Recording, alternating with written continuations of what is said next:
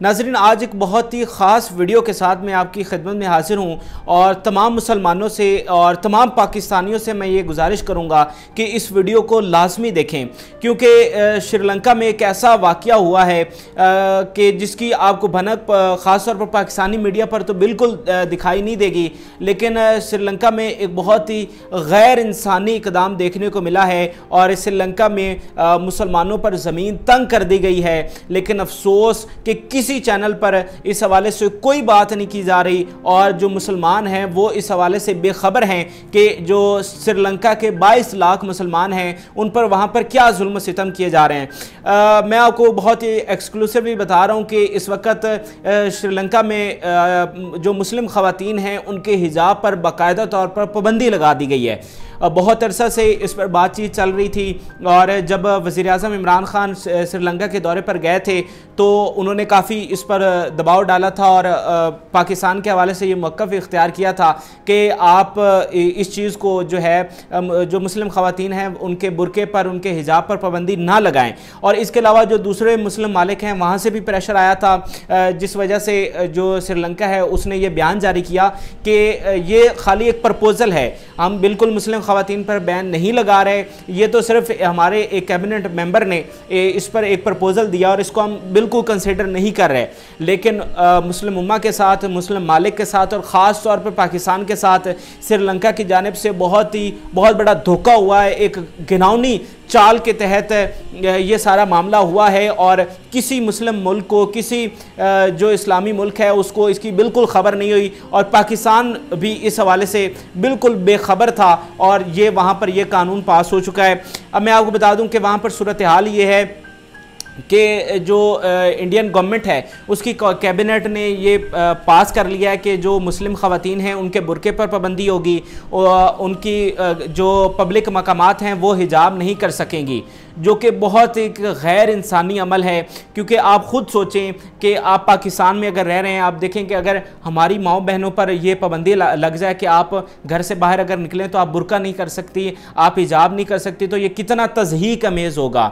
ये कितना एक गैर इंसानी और तोहन अमेज़ रवैया होगा हमारे साथ। और यही कुछ जो श्रीलंका के बाईस लाख मुसलमान हैं, उनके साथ हो रहा है, और वो कुछ नहीं कर पा रहे, बिल्कुल बेबस हैं, क्योंकि किसी मुस्लिम मुल्क ने उनकी सपोर्ट नहीं की आ, किसी की जानब से कोई ऐसी आवाज़ देखने को नहीं मिली। और श्रीलंका जैसे मुल्क ने आ, जो इतने इस्लामी मालिक हैं उनकी किसी तौर उसने कोई बात नहीं सुनी। और आ, इस वक्त कैबिनेट में इस इस चीज़ की मंजूरी दी जा चुकी है। और मैं आपको बता दूँ कि जो इंडियन गवर्नमेंट है जो उनके प्राइम मिनिस्टर हैं उनकी टू थर्ड मेजोरिटी है पार्लियामेंट में। तो एक रस्मी एक कागज़ी कार्रवाई समझ ले बाकी होना रह गई है कि अब ये बाकायदा तौर पर बिल बन के पार्लियामेंट में जाएगा जहाँ से बासानी ये पास हो जाएगा और बाकायदा तौर पर कानून कुछ आने वाले चंद दिनों में ये वजूद में आ जाएगा और जो मुस्लिम ख़वान हैं वो वहाँ पर हिजाब नहीं कर सकेंगी और बुरका नहीं कर सकेंगी और उन्हें उसी तरह से जो है पब्लिक गैदरिंग्स में निकलना होगा और बात यहीं तक ख़त्म नहीं हो रही। बात बहुत गहरी है, जो आपको जो मुसलमान हैं ख़ास तौर पर उनको समझने की ज़रूरत है कि जो वहाँ पर मदरसे हैं, जो कुरान की तालीम जहाँ पर दी जा रही थी उस पर भी पाबंदी लगाई गई है। श्रीलंकन हुकूमत की जानब से कहा गया है कि आप मदरसे नहीं चला सकते जहाँ जहाँ पर कुरान की तालीम दी जा रही है, आप ऐसा नहीं कर सकते। और ये किस चीज़ की आड़ में किया जा रहा है? 2019 में एक चर्च पर हमला हुआ था, जिसमें 260 के करीब लोग उनकी हलाकत हुई थी और इसका इल्ज़ाम जो है एक मिलिटेंट ग्रुप पर, एक इस्लामिक मिलिटेंट ग्रुप पर लगाया गया था। और उस, उसी वजह से मुसलमानों पर तब से, पिछले दो सालों से जुल्म सितम हो रहे हैं। वहाँ पर दीन की जो तालीम है, उस पर पाबंदी लगाई जा रही है।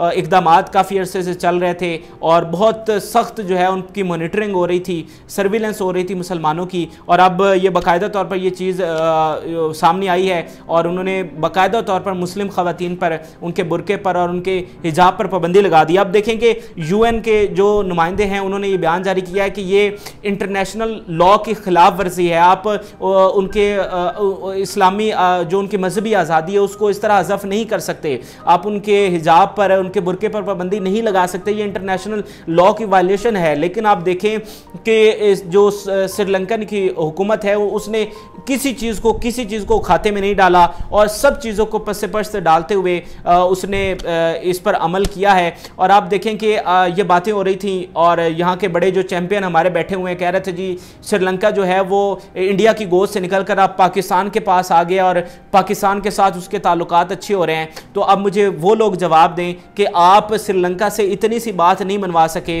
कि आप तब तो बड़ी बातें कर रहे थे लेकिन अब आप उनसे इतनी बात भी नहीं मनवा सके और मुसलमानों पर वहाँ पर बहुत ज़्यादा जो है वो जुल्म सतम हो रहे हैं। और उस वक्त जो इंडियन मीडिया है उसने बहुत सेलिब्रेशन की थी लेकिन जब पाकिस्तान की तरफ़ से प्रेशर आया था तो आ, वो काफ़ी इस पर मायूस हुए थे। लेकिन चूँकि अब इंडिया के हालात ख़राब हैं उनके अपने मुल्क में कोरोना चल रहा है तो उनके मीडिया पर तो ऐसी कोई चीज़ हमें देखने को नहीं मिली। अलबत् कुछ जो अखबार हैं, वो इस चीज़ को रिपोर्ट कर रहे हैं और बहुत चंद न्यूज़पेपर्स ने इस खबर को छापा है और बहुत अफसोस के साथ मैं जो मुस्लिम माले के दिगर न्यूज़ चैनल्स हैं, उनको देख रहा था। मुझे किसी चैनल पर ऐसा कोई चीज़ देखने को नहीं मिली। कि जहाँ पर श्रीलंका की जो हुकूमत है, उसको क्रिटिसाइज़ किया गया हो और उन उन पर ये प्रेशर डाला गया और इसे गैर इंसानी इकदाम करार दिया गया। आप देखें कि ये सबसे पहले ये फ्रांस ने किया था, उसके अलावा जो दीगर जो हैं यूरोपियन मालिक, उन्होंने ये सिलसिला शुरू किया कि आप जो है वो हिजाब पर पाबंदी लगाएँ। और बड़ा दिलचस्प बात यह है कि ये इसकी टाइमिंग चेक करें इस फैसले की। अभी श्रीलंकन हुकूमत अपनी आवाम को कह रही थी कि आप मास्क लगाएँ मास्क पहने।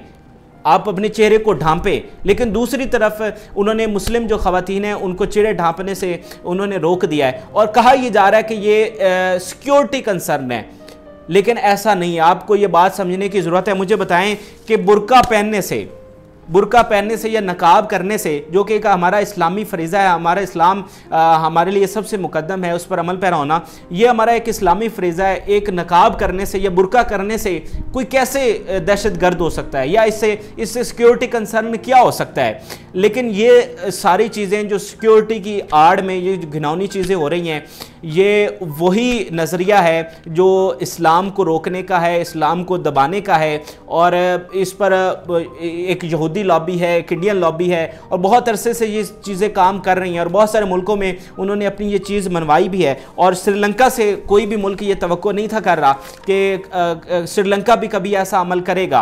और ख़ास तौर पर आप देखें कि जनूबी एशिया में हमारा उसके साथ एक ब्लॉग बन रहा है, मुस्लिम मालिक बहुत सारी उसकी ट्रेड होती है, लेकिन इसके बावजूद श्रीलंका ये अमल कर गया और मैं ये मुस्लिम मालिक के लिए जो हमारे इतने आ, उनकी इकॉनमी चेक करें और उनका सारी चीज़ें लेकिन ये उनके लिए शर्म का मकाम है कि वो श्रीलंका से इतनी सी बात नहीं मनवा सके। और आज जो वहाँ के 22 लाख मुसलमान हैं वो मुसलम उम्मत मुसलमा को पुकार रहे हैं वो इस्लामी दुनिया को पुकार रहे हैं लेकिन कोई उनकी आवाज़ नहीं सुन रहा। कभी आप ये चीज़ अपने ऊपर तारी करके देखें फिर आपको इस चीज़ की समझ आएगी कि आप पर एक ऐसी पाबंदी लगा दी जाती है आपको रोक दिया जाए कि आप कुरान ना पढ़े।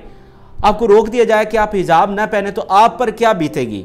और यही कुछ हो रहा है आज श्रीलंका के मुसलमानों के साथ, लेकिन वो बेबस हैं, उनकी कहीं पर कोई बात नहीं सुनी जा रही। और मैं अर्ज़ करूँगा पाकिस्तान के फॉरेन ऑफ़िस को आ, हमारे प्राइम मिनिस्टर के को के वो ज़रूर इस पर एक्शन ले, लें और तमाम अपने जो मेरे साथी यूट्यूबर्स हैं उनको कहूँगा कि इस पर वीडियोज़ बनाएँ ज़्यादा से ज़्यादा क्योंकि बहुत अफसोस के साथ हमारा जो मीडिया है उसको ऐसे टॉपिक से कोई दिलचस्पी नहीं है उसे रेटिंग से दिलचस्पी है जिस चीज़ में रेटिंग आएगी अगर आमिर लियाकत की मेम्स हैं तो उसमें वो चलाएगा। अगर कोई मायरा खान का कोई स्कैंडल आ गया, कोई महवे शजाद का आ गया तो उसको चलाने में उसको ज़्यादा दिलचस्पी होती है। लेकिन ऐसी चीज़ें चलाने में उसको बिल्कुल कोई दिलचस्पी नहीं होती।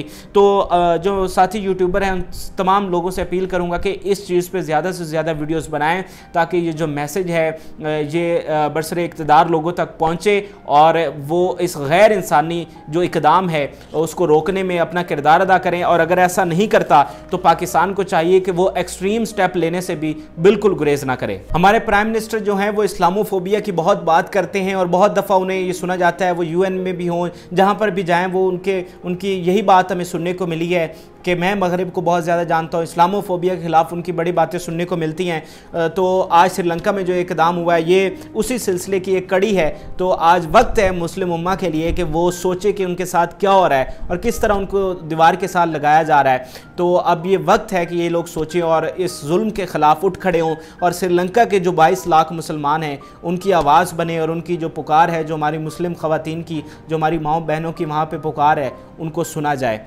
तो आज की इस वीडियो से यही कुछ था। इस हवाले से जो भी मज़ीद अपडेट्स होंगी, मैं आपके साथ ज़रूर शेयर करता रहूँगा। तो हमारे चैनल आर पी प्रोडक्शंस को ज़रूर सब्सक्राइब कीजिएगा और इस वीडियो को ज़्यादा से ज़्यादा आप शेयर करें, ताकि ज़्यादा से ज़्यादा लोगों तक ये मैसेज पहुँचे। अल्लाह हाफिज़।